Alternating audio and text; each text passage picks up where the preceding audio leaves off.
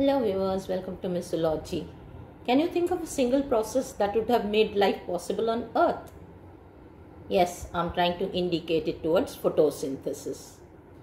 A process that provides food for all. Food in the form of fruits, vegetables, grains and many more. Not only food, it also provides oxygen. Oxygen that is required for respiration. We breathe in the air rich in oxygen which is set by the plants in the atmospheric air. Is this a property of the plants alone? Because whenever we speak of this process photosynthesis, what comes to our mind are the green plants. Now let's understand a little about this process. These green plants are autotrophs since they perform photosynthesis. These autotrophs mean that they can prepare their own food. They don't have to get into a kitchen to make their food with certain raw materials. They use the constituents from the nature, that is water from the soil and carbon dioxide from the air and they set it with the help of sunlight and the chlorophyll present in them to produce glucose and oxygen. This glucose is then stored in the form of starch in their body and that's what they use throughout their lifetime so they don't have to depend upon anybody else for their food. This is what is all meant from the process of photosynthesis. Now we would try to focus if this process is only possible with green plants. Or do we have any other lower organisms who too can perform this process? Is photosynthesis possible with other organisms? Let's find out with the lower kingdoms. Since we have pointed that it is necessary for survival of life, so life did not start with the multicellular organisms. Life actually started with the unicellular organisms of the primitive type who did not have much requirement but definitely food is always a bare necessity for everyone. Now how did they obtain their food? Or how was this food converted into energy for their growth, multiplication and survival? If we go back to the most primitive kingdom, Monera, we would find the cyanobacteria.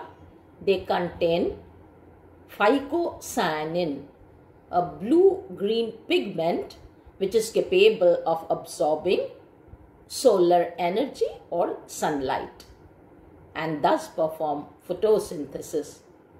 They not only have phycocyanin, some of them have chlorophyll A as well, which is a direct pigment for absorbing the photons of the sunlight and cause the process of photosynthesis.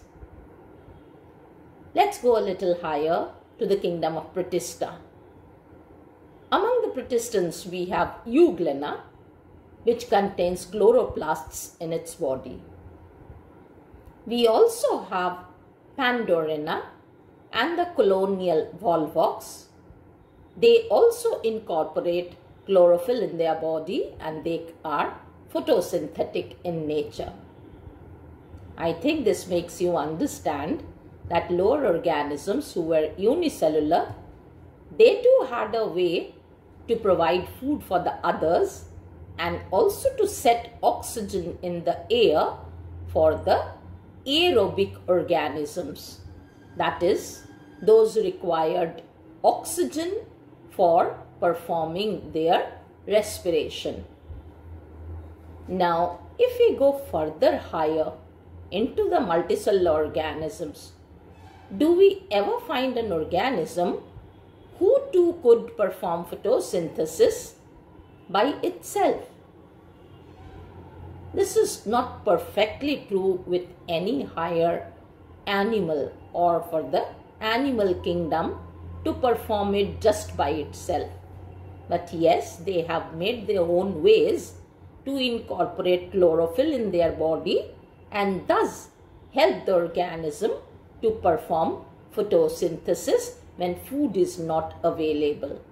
This is mostly with the gastropods or with the mollusks. The sea slugs, they could live in association with algae and they could incorporate the chlorophyll when they were not available in the surrounding and thus they become solar powered apparatus for themselves capture the solar energy and perform photosynthesis for a considerable period of time.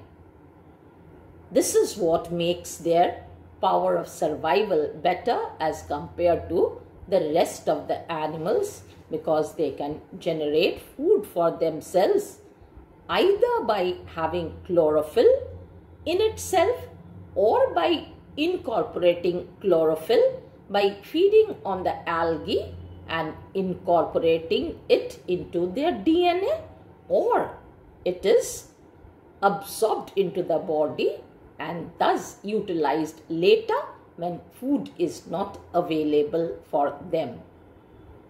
I will come with the rest part of photosynthesis with the steps of light reaction and dark reaction to explain the entire process of photosynthesis in the upcoming sessions. Thank you for now. Please do like, share and subscribe to my channel. Thank you once again.